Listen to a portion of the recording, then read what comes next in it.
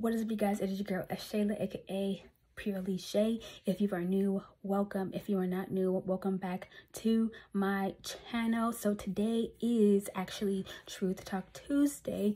Um, so today's topic for Truth Talk um, is it's a good one. So I want you guys to do me a favor before we get into the meat of the video.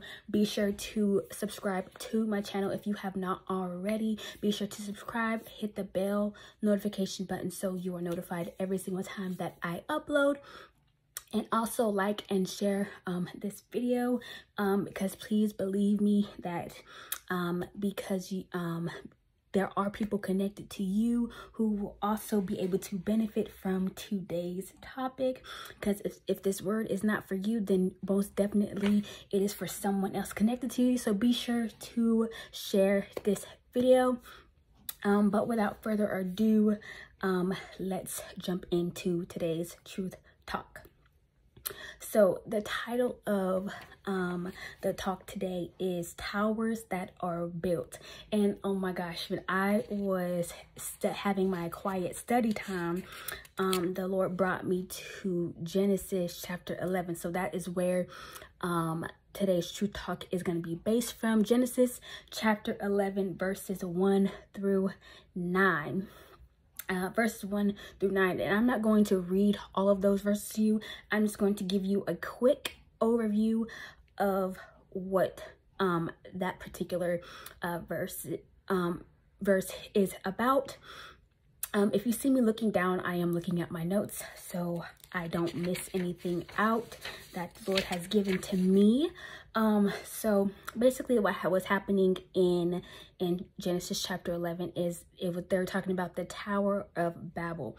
Um, and so the it says that the whole earth had one common language and because of their because of their pride, which led them to sin, um, God punished the people by giving them different languages, causing them to be scattered from one another so they weren't able to understand um, each other in their own common language, if you will. So that's just a brief overview of um, verses 1 through 9 in Genesis 11. Um, you can go ahead and go and do your own study on that. But, oh, also, if you um, are note taker, um, then go ahead and grab your notes, grab your notepad, grab your pen, take some good notes um, because this word is good. Um, I always hear people say, and I honestly believe this, that note takers are um, world changers. So take your notes.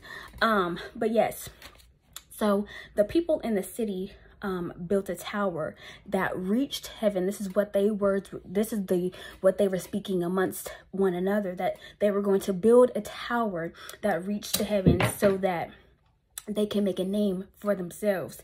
Let me just pick a point right here. Um, the tower that they were building um, was made out of brick instead of stone. If you know anything about brick, and stones or anything like that, you know um, that stone is way more durable than brick. Now, brick, of course, is um, highly durable and can withstand any, um, can withstand various conditions. But as it relates and compares to stone, um, it, it, it's, it doesn't, it don't do, it don't do its due um, stone goes beyond what brick can do. Um, it's more long lasting. Um, but the people chose to build um, their tower out of um, out of brick. Um, and so it is safe to say that the tower that was being built um, in the story was man-made.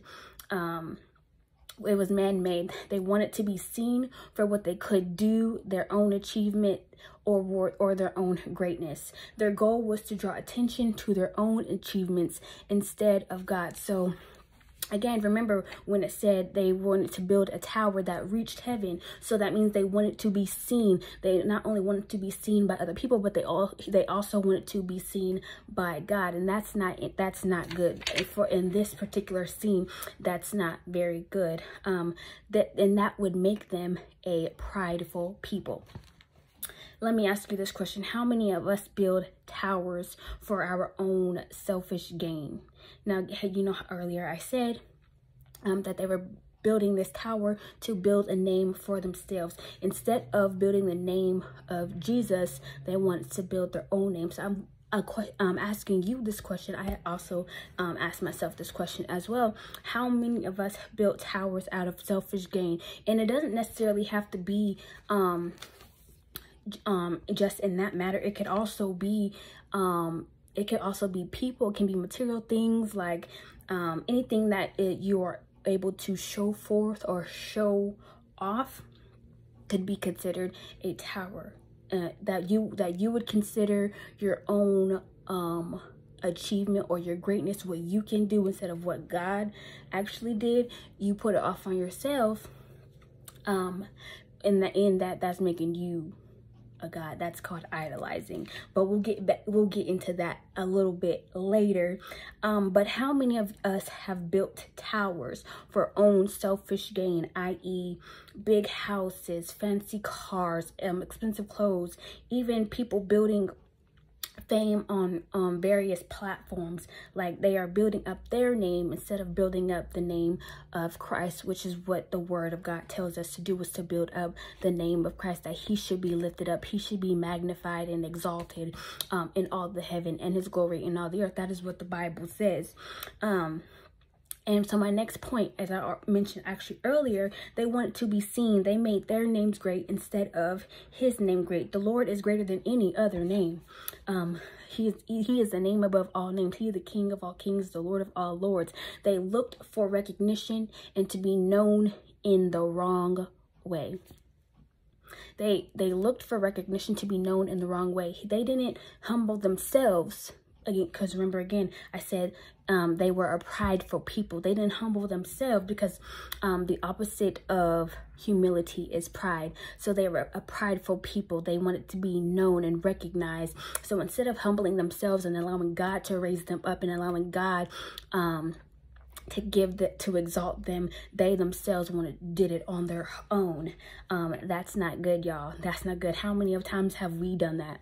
You know what i'm saying? That's just something to think about. Um that's something to think about. The people were prideful and they idolized themselves. Lifting up their um any other name the people were prideful. Lifting up any other name than god the father god the son god holy spirit it is called idol worship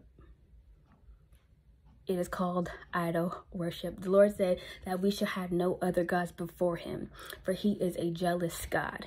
We shall have no other idols. And the idols doesn't um the idols can be people, it could be things, it can be jobs, it could be it could be circumstance like it could be it can anything that takes the place of God, of Christ is an idol like you can have like and it doesn't even have to be physical things it can it, it can be internal um what um what things have you um let me ask you this what towers or what idols have you placed on the have hidden in your heart? The things um that nobody else knows about but you know about that that you keep secret even though god sees all things so you can't really you can't keep anything hidden from him because he sees all things but what things have you yourself um hidden in your heart and have hid um and have built towers within yourself um um, and it's considered idolization. You may not recognize that it is, but I'm here to tell you that's what it is. There's your truth. There's your truth for today. Um, yes, idol worship.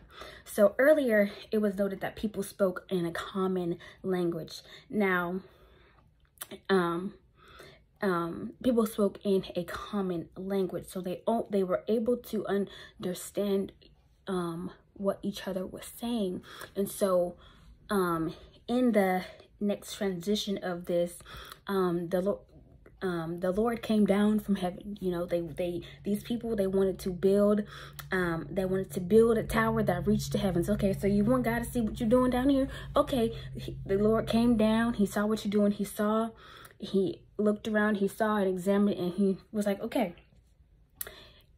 can I tell you this? The Lord was not pleased. He was displeased with the work of his people. So what did God do?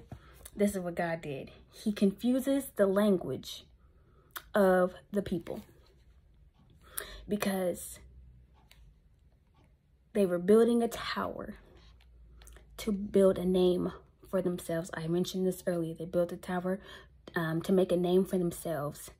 Um, and they were putting the focus on them instead of putting the focus on Christ. So God, um, in that in their sin, that pride that led them to sin, that was pride that led them to sin. Um, in that God confused their language so they wouldn't be under able to understand each other, and that also meant um, that it would stop what they were doing. It would stop their plans. It would stop um, their own will, their own desires. It would stop what they were doing um, so that it it, it can no longer go forth. It can couldn't be finished. So that's what the Lord was. That's what the Lord was doing. Um, so that's what he was doing. That is like the brief overview of that chapter. Um, so this is what, but but if you think about it, this is what is going on in the world today. For many, for and this is for many years, many people are busy making name for themselves, making themselves relevant, flattering, and um, flaunting themselves, and not you know, humbling themselves. People are so hungry after fame and fortune and not hung hungry enough after God. Like it says in, in, in the word of God that he who hungers and thirsts after righteousness shall be filled. But if you aren't hungering and thirsting after righteousness and you're hungering and thirsting after other things, other people and just stuff that don't mean nothing, um, then I tell you, you're not gonna be filled. You're not gonna be filled with the word. You're not gonna be filled with the truth. You're not gonna be filled with the with the Holy Spirit. You're not gonna um you just you just not gonna be you're not gonna be filled because you're filled with other stuff um that mean that have no meaning that mean absolutely nothing in a sense. Um and and and let me just put put this out there. Like it's not like when i talk about um when i talk about um that selfish gain i don't i'm not necessarily talk saying that is a bad um thing. Like it's not a bad thing when um you are able to have like have those um, personal achievements but when you use it in the wrong way then that that's what makes it wrong and that's what the people were doing in this context. They were using it in the wrong way. Um so the people were um people are so hungry after fame and fortune not hungry after god not hungry after truth not hungry after um what's going to bring life. They're not hungry of what's going to, of the eternal things that's, just, that's going to sustain them. They don't look to lift up the name of God, but rather they want to lift up the name of themselves. Billy, they want to lift up the name of Bob, Billy, and Bailey. Like they're not lifting up the name of Jesus. Um, but there's no other name like him. There is no one who can compare to our God. Um, but in this, I but this is my now this is my interpretation of what God was saying. Um, God says, "You can go Babylon somewhere else, but in my kingdom will um but in my am but not in my kingdom will man be glorified it is i who gets the glory because i am that i am god is king God is Lord. God is Jesus the Christ. He is the master, the creator over all things. He is the creator of the universe. Now, I let me put this in there because it just, I just, I don't like it when people say, who are you? Who do you believe in? Oh, I believe in the universe. Listen, the universe is technically the world. So you believe in the world? When it says in the and when it says in the Bible um, that you should um, that you shall not be conformed to this world, um, but re be renewed in your mind. That's just a thought. That was just a insert right there. But anyway, let me get, let me not deviate from my notes. Let me let me not let me not deviate from my notes. God is the creator. Jesus is Lord. Jesus is Lord. Um, so we, the world, need to be a people to worship the Lord and not worship other people. That goes back to what I was saying about that idol worship, that idleness, not idle like being stagnant um, or complacent, but idle is having other things before you taking the place of Christ, which is what I mentioned before. Um, not building monuments of people. We need to be a people to build the name of Jesus, lift up his name, proclaim of his wondrous works, not our own and and doings. It is only God who is great above all things. He is greater above all things. So, as I am closing, I'm going to leave you um, with a few questions that you I really encourage you to ponder upon and really um, take inventory of your own life and journey.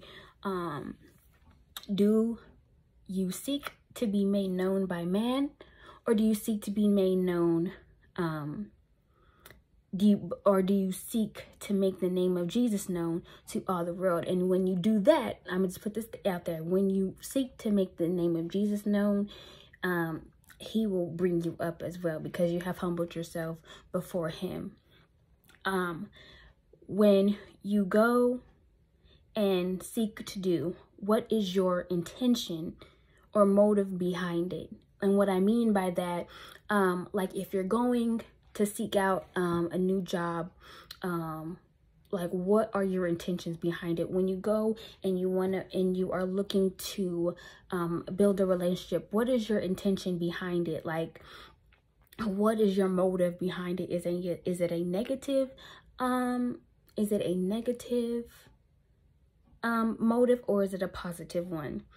Um will this that you do glorify will, will what you do glorify god or glorify man? Like that like when i say that um i'm always saying i'm always i'm almost saying um are you going to be a people pleaser or are you looking are you seeking to please the father? That's what that question means. Um what offering um what offering are you offering? Like when when when you say you're going to do something for somebody else what kind of offering are you offering that individual? Like um are you it also it, it just goes back to the intention if you will. Um um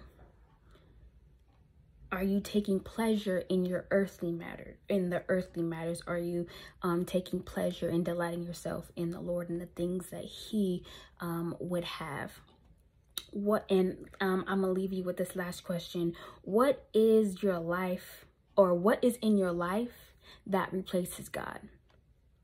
Now those are some questions that you really want to um, take inventory and really do a self-assessment um, because because like for real for real all of us um, are a work in progress and no one um, is perfect. But we are but us as believers we are seeking to um we are seeking to be perfected in Christ. Not us being perfect um not suffering from perfectionism but we are seeking to be made perfect in Christ um the ultimate perfect one. Um so that is all that I have for um today's truth talk. That was like real quick um that was real quick um, what are um, the towers built in your lives? Tower towers that are built what are those in your life? It could be people it could be things it could even be yourself to be completely honest. If you want to put it like if you just want to make it plain. It can even be yourself but i challenge you and encourage you to do this self-assessment and really reflect on what we talked about today so yes, I leave you um, with those few questions and I pray that it blessed you. I pray that it opened up your eyes. I pray that as you were listening, um, that you had an open heart and mind and ears to receive what was being spoken um, and that you take heed um, to what is being given to you. Amen. So I love you guys and I will talk to you guys in the next video. Uh, remember, be sure to like, comment, share, and subscribe. And don't forget to hit the notification bell so that you never miss an upload. Without further ado, I'm going to go ahead and get off of here. So I love you guys. Peace.